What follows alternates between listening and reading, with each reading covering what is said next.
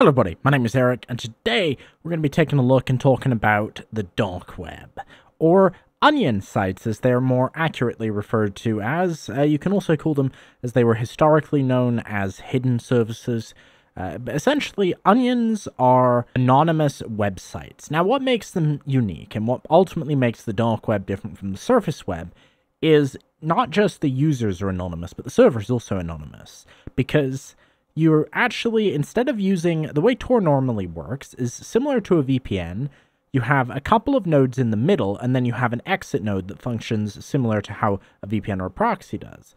Well, with onions, you cut the exit node out of the equation because the onion server is actually also anonymized by this network. So, as a result, you do not know the IP address of the website you are accessing, and the website does not know your IP address. There are no IP addresses of any meaning in this system, so it's completely anonymous and it can be used for a lot of things.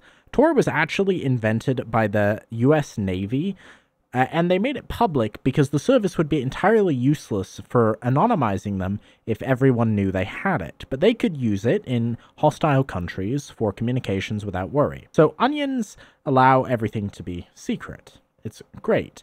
And what we're going to go over are some different ways of accessing onions, some of which are very secure, some of which are very not small. So what is the dumbest way to use the dark web? I'll let you take a guess, and then I'll tell you. Uh, the dumbest way to use the dark web is to find, and I don't know how many of these are still up, uh, an onion proxy. Now, what is an onion proxy? Uh, it's a site like this. Now, depending on the type of onion you are using, and they even warn you, they're not hiding it. I don't want to call these people out for being bad, but this is not a good idea. I think Onion Toe might actually be dead at this point, but uh, this was uh, one of the most dangerous ones.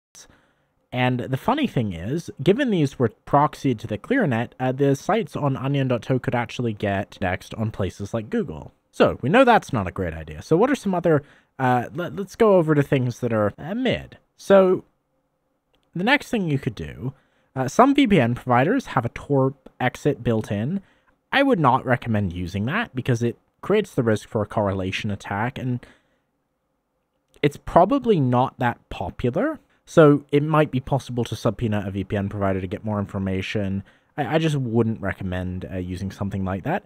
Now, I will say it's not a bad idea to use a VPN when using Tor. It's not, it neither really helps or hurts because the VPN provider can't see what you're doing on Tor either, but it certainly isn't necessary. Uh, another thing I would not really recommend doing is some browsers, uh, most famously Brave has this. Uh, let's go over to, uh, you can do new private window with Tor. And uh, this is technically perfectly fine. The, the only real issue with using Tor mode on Brave as opposed to Tor browser is the browser settings are not quite as secure. Uh, one of the most concerning things would be given that Brave is Chromium based. Uh, as far as I know, the V8 JavaScript JIT, which has had the occasional escape vulnerability, is enabled, and it's very possible to fingerprint you as a Brave user.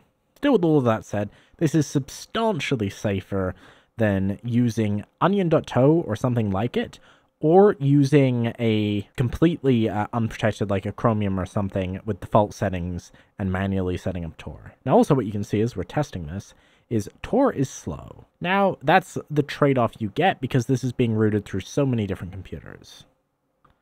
Now here you can see we have essentially an ordinary Brave or Google Chrome user agent, which combined with the fact that we're using the Tor network is statistically uncommon because almost everyone on the Tor network is going to use what I'm going to talk about next. And this would be the main recommendation. For 99% of uses, this is perfectly fine. Downloading the Tor browser for whatever operating system you're on. If you're on Linux, you also should probably check and see if your package manager has it. Uh, you can use some Windows, Mac, Android. Uh, you can probably also get it for FreeBSD. This is completely open source. This is essentially a Firefox that is substantially more hardened and private. It's got some modifications so that it will not run untrusted JavaScript. It comes with absolutely zero plugins, which is very important. And it's got one other trick up its sleeve. Uh, see, there's one other method of uh, fingerprinting browser users. And I'm actually showing it to you right now as I'm resizing this browser window because monitors come in different sizes, and the size of your screen is actually a potential giveaway. Uh, so Tor browser circumvents that by always using the same size for every single Tor browser user. So there's very little information that can be obtained from Tor browser. So this is great. But we actually can go deeper, and that's what we're going to get into. Do you want to have total privacy? Well, there are still some ways that traces of Tor browser could be left on the computer. What if having an installed operating system that could contain traces and go fully underground? Well, that's where Tails comes in. Not the thing that people keep telling you to put on at 200,000 subscribers. The answer is no, by the way. Uh, this is actually a famous privacy focused Linux distribution. As many people on Darknet forums will say, it's Tails or jails for cybercriminals. Tails is incredibly powerful, and we're actually going to set this up in a VM in just a second. Now, I'm going to use a VM so I can show this to you easily.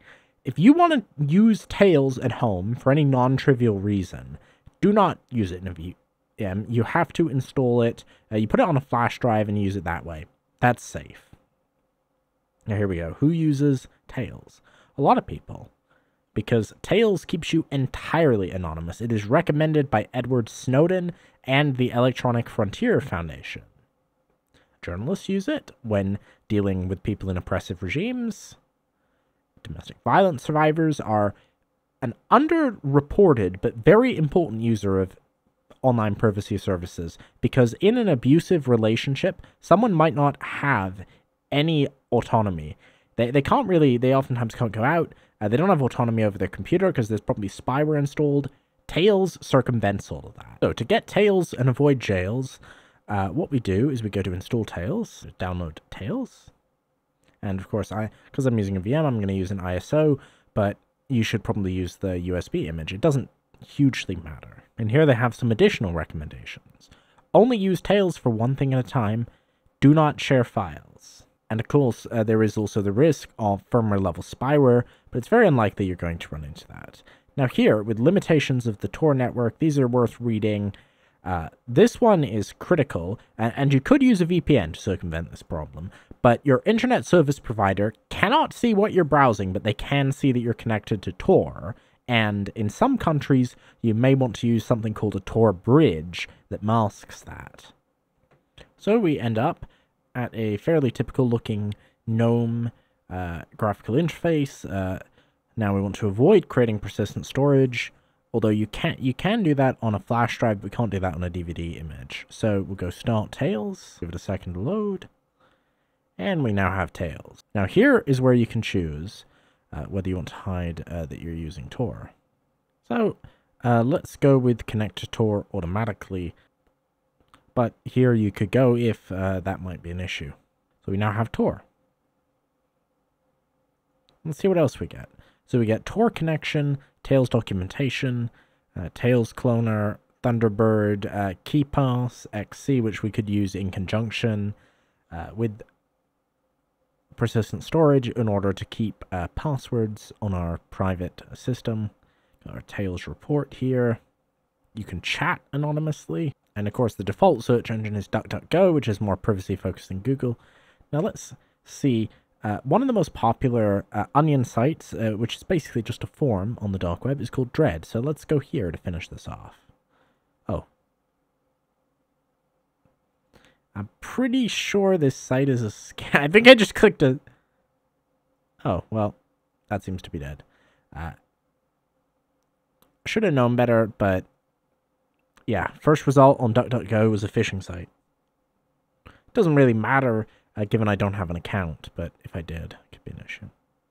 Now this is, because one of the drawbacks of a system with absolutely zero identification is DDoS attacks become a much bigger threat.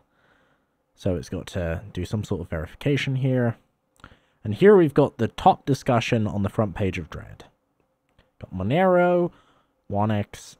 Oh, they yeah, they actually got rid of the really annoying. Last time I tried this, it was really annoying.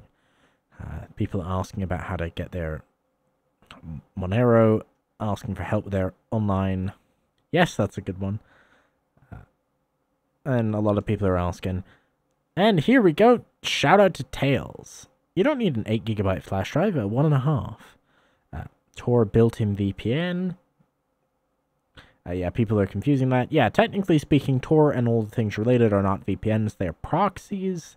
Uh, similar effect, but different product. VPN works differently. Best way to cash out crypto.